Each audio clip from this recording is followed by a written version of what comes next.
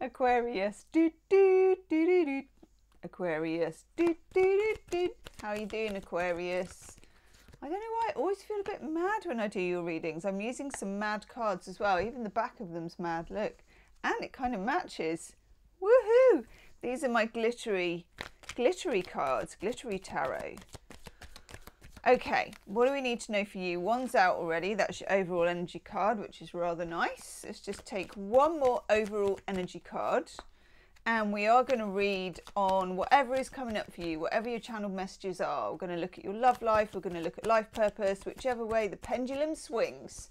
Okay, there will be an extended reading as there is every month, and that will be an extended love reading. So whatever comes up for your love cards, we do an extended reading for that. As always, the first link in the description box. Ka-ching! Look at that bad boy. You get the Wheel of Fortune as your overall energy card, which isn't half bad, okay?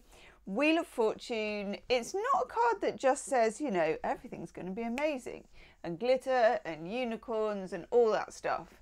It's more a card that says the wheel is turning, my friend.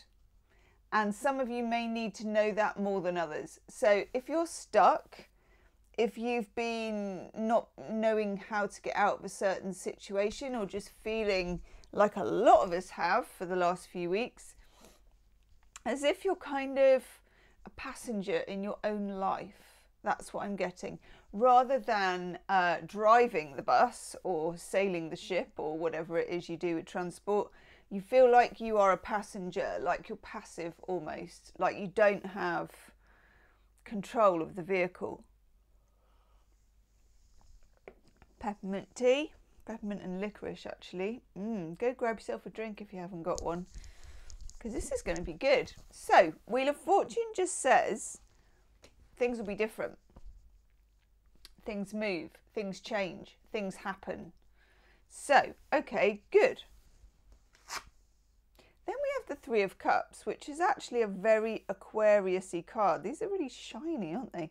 Um, it's an Aquariusy card because it's about connecting with other folks, and that's what Aquarius is all about. You're about the social group.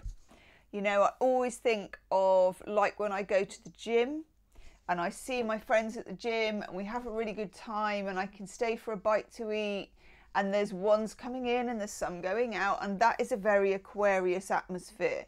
Not where you've just got one person who's who's kind of there all the time, more that there is an influx and that you are kind of constructing some kind of group, social group. Three of Cups makes it a little bit more focused. So this can be you kind of reconnecting with people, reconnecting with friends maybe you haven't seen for a while. I don't know because I don't know what other cards we're going to get yet, but it's a card of connection. It's a card of drinks after work. It's a card of connecting online. It's a card as well in a relationship of taking it from the two, which is very private, into the three, which is what I call the plus one card. Okay.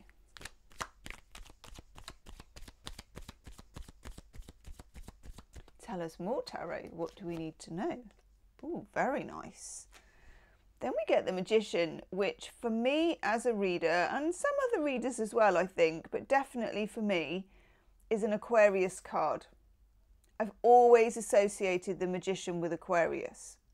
So this is about, it's number one, it's you've gone from the zero of being the fool into the actualization, the ability to be able to make something happen.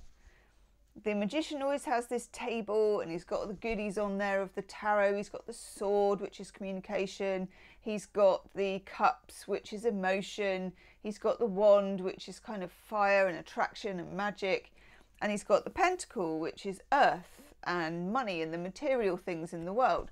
And of course, he's an alchemist, so he can turn one thing into another and make something happen. And BG Styley, he holds aloft his magic wand and gives it some of that. Maybe while he's reconnecting with the Three of Cups, he's like, Yes, come on, spin that wheel. Woohoo! It's all very Aquarian. This means that you're in a position to change something, to wave your magic wand in lots of ways. And what is your magic wand? Well, you may well ask. It's your ability to kind of, I suppose, manifest, but also there's something about you, Aquarius, that's not quite human. And I can I can never put it into words, and I know so many Aquarians and I too have Venus in Aquarius, which I like. Um, there's something about Aquarians that's extraterrestrial, and I don't mean that you look like aliens. I mean it's just outside of the norm. Some astrology people call it um, eccentric. That's not enough. It doesn't quite cover it. There is a spiritual element to it as well. Nice.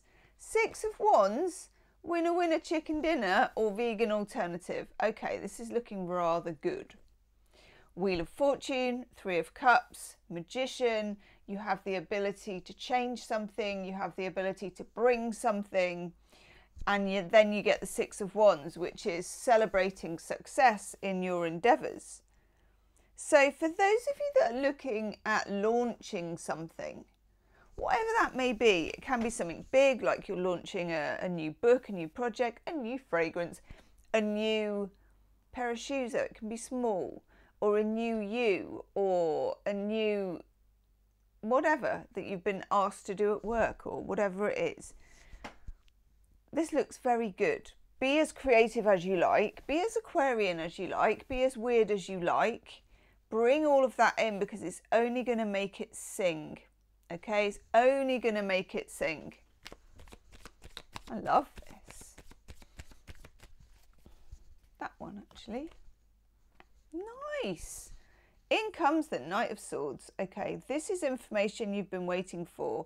And maybe you've been waiting for this information before you could actually become the magician and make a move. Some piece of information, let me just do that with the curtain so the sun goes away.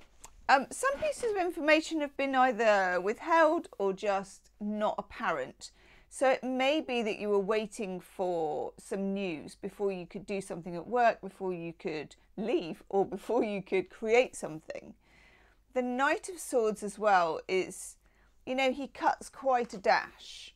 So the Knight of Swords is coming in and like almost like, listen to me, I've got this to say it's something that won't be unsaid. Let's just have another card for that. Yeah. Nine of Wands, okay, about protecting yourself, about boundaries.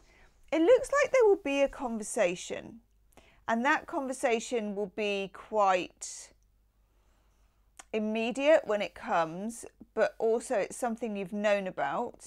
It's about something, if we look at the cards here, God only knows. Oh, that's good. Sometimes I do that and I've got a pair of old pants lying on the floor or something. Um, if we look at the cards here, Aquarius, you can see how the Wheel of Fortune turns. You're connecting with groups or important people who can help you, I think. We've got the Magician where you are gaining power for yourself, which we really like. There's a successful outcome. There is the imparting of some kind of knowledge or wisdom and then there's also this Nine of Wands where somebody, you're kind of required to structure something, to make something happen. Of course, this could relate to your love life. We're going to look at your love life in a sec. But either way, I like that there's news coming in to help you. This comes from somebody else.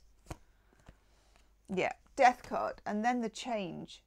When you get the death card, that's not just a bit of change. I mean, you could switch up what you're doing for a living. You could change, you could leave. It's got that kind of feeling about it, but you have the magic to be able to make something happen. Okay, you've got the sort of secret sauce here with the magician. And I like that. It's very it's very Aquarius. Aquarius is a sign of the inventor. And you get to make something happen rather than be a passenger. Big changes. Let's have a look at your love life as well and connect that. What do we need to know for the love life of lovely Aquarius? Who everybody wants to get off with, let's face it. Okay, we've got the Four of Pentacles, keeping yourself to yourself. Judgment. Oh, hell, this has come up for you so much. I'm going to take two more actually before I before I say anything. Knight of Wands. Yeah, you. Hanged man, yeah. Okay. Some cards in tarot, particularly major arcanas, are yin and some of them are yang. And judgment, it's my hand cream by the way, which is now my pointing stick. Judgment and the hanged man are both yin cards. Judgment has been knocking around your energy. And it's, oof, it can be about exes. It can be about past loves. If we're doing a love reading for you here, which we are, and you get the judgment card, you always, I mean, it's always something to do with the past. It can be that there are things you are resolving still from the past. It can be how you are healing a breakup. It can be you are kind of involved with somebody still. Unfinished business, I think, is what we call it. And it depends on what other cards come out with it. The Four of Pentacles is somebody keeping something under their hat. Now, I think that might be you, actually. And that's, it's a good place to be, the Four of Pentacles. Some people call it the miser card, but I think it's really sensible. You know, you're not blabbing your plans to anybody, you're not giving away your energy, you are conserving your energy and you're having a look and you're watching what is going on. And then we have judgment. Judgment is my Back to the Future card. It's something where you're sort of you're dealing with something of yesteryear. It's like, and then the Knight of Wands, which is the complete opposite energy. So you could be dealing with a fire sign, Leo, Aries, Sagittarius. But the Knight of Wands kind of steams into the present. I think for some of you, there is somebody you're connected with or will soon meet. You may already be connected with this person who is quite charming and attractive and comfortable in their own skin, which most Aquarians are looking for that. Because underneath it all, most Aquarians are quite confident. And it just feels like it feels as if something is exciting and tempting, but also uh, when you're alone at night or when you're in your quieter moments, judgment is saying to you, What's this about? What happened last time? What's this? You know, there's some sort of inquiry there. Oh, I do like that. We've got the hanged man here. Hanged man energy is very Neptunian. And this Neptunian hanged man energy is all about when nothing is happening, everything is happening. The Empress, again, is very, very powerful. You know, one sort of flick of her staff and she can make the wheat grow, she can make the animals reproduce, she's all about fertility. Which is exciting stuff. But there's something here about divine feminine energy and leaning back, which is normally Aquarians are quite sort of masculine energy, regardless of your gender, in dealing with things. You're quite upfront, you make things happen, you talk, you say stuff, you make decisions. But there's something here. You may be dealing with a water sign, Pisces, Cancer, Scorpio, because Judgment and the Hanged Man are both about Neptune there's a situation here that is tantalizing and interesting intriguing, I think is the word. We've got the Nine of Pentacles, independence. I mean, Aquarians are all independent, no matter what. There's something about you being like a citizen of the world that just makes you confident and independent. Got the Seven of Cups. Okay. Seven of Cups is when you're in this Neptunian, it's like a hall of mirrors energy here. You can't quite see something about someone or about a connection with somebody. You can't quite make it out. It's almost like, and I'm getting channeled to me, what is now kind of quite old-fashioned camera, like a Nikon camera, and you're you've got that. You know when you hold on to the sort of, I don't even know what camera things are called because mine are all electronic now, but you hold on to the lens and you twist it and the image becomes more into focus. And if you do it the other way, it gets blurry. And what's happening here about a relationship is you're sort of sharpening your focus because I feel like there might have been things that you missed before or have just they've just never sharpened into view. It's quite mysterious, which for most Aquarians is very tantalizing. Aquarians love mystery.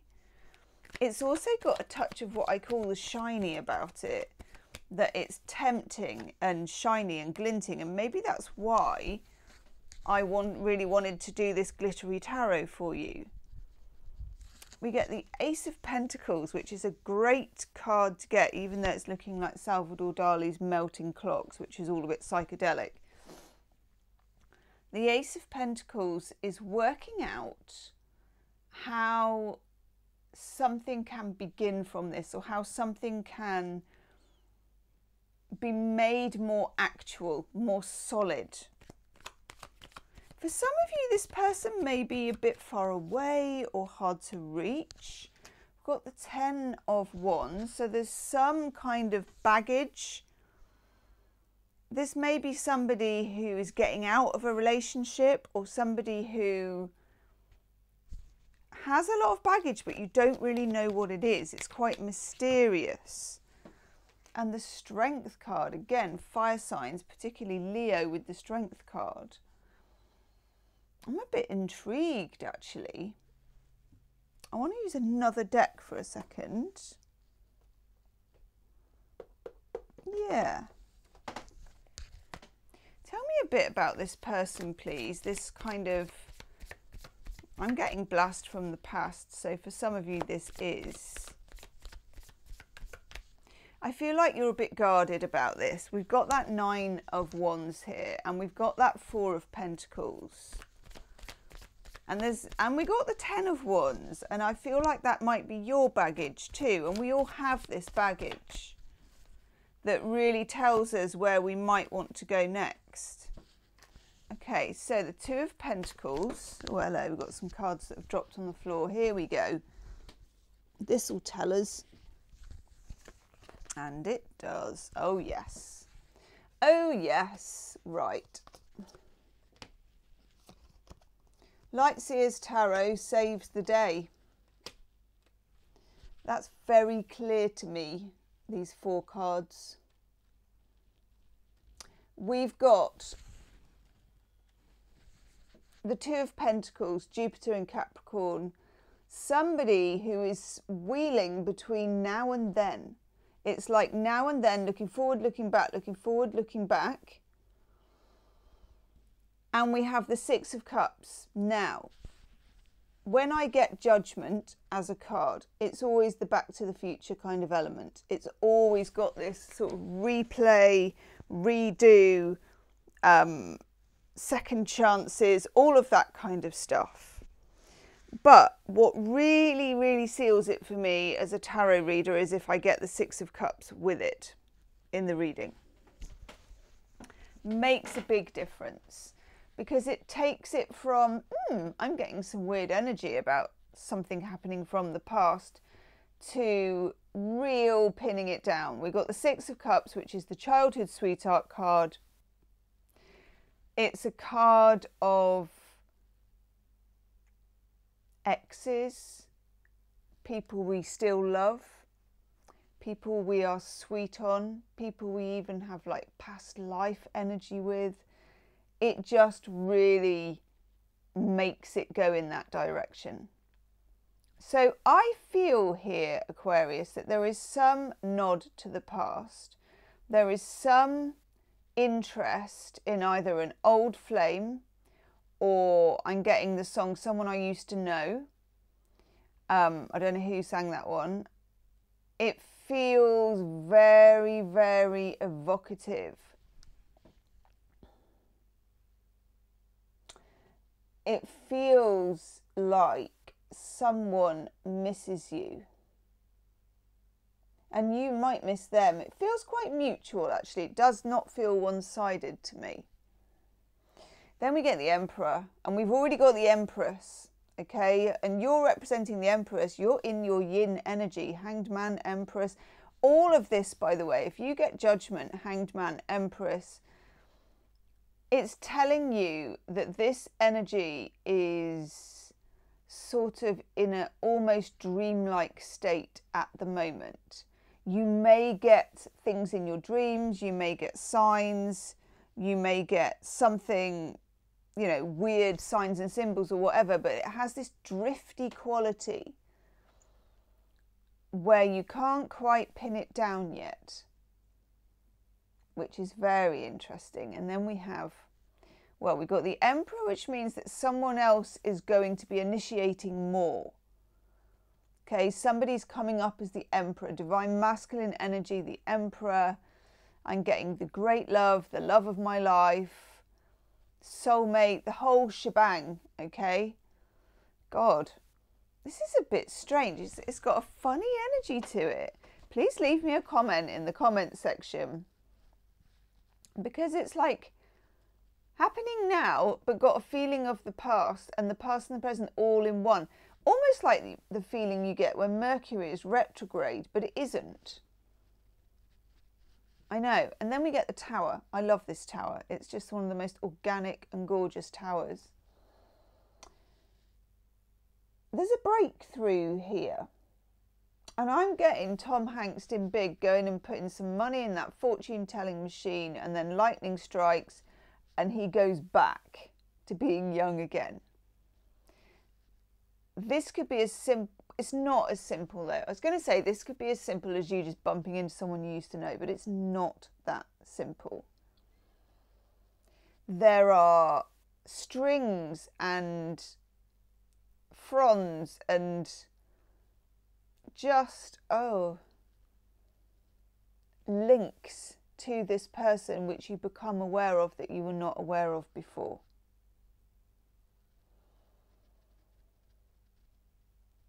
Mm.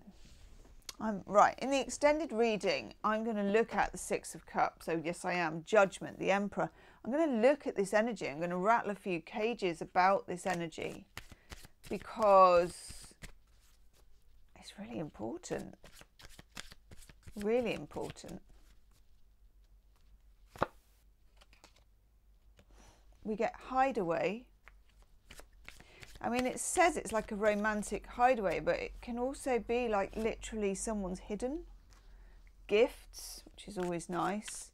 Love's greatest gift is the ability to understand each other. And sacrifice. Love may come with sacrifices. Evaluate what you're willing to give up. Hmm, there's a story here, Aquarius. I'm going to look at some shadow cards. We're going to look at the four cards that came up there, how to win, the Six of Wands, why this is stuck in Hanged Man energy, but at the same time is moving forward in a kind of kaleidoscopic energy. Oh, Aquarius, you never keep it simple, and I love you for it. Okay, I'm going to go do the extended. It's the first link in the description box. Leave me a comment, and I'll see you on the other side. Namaste.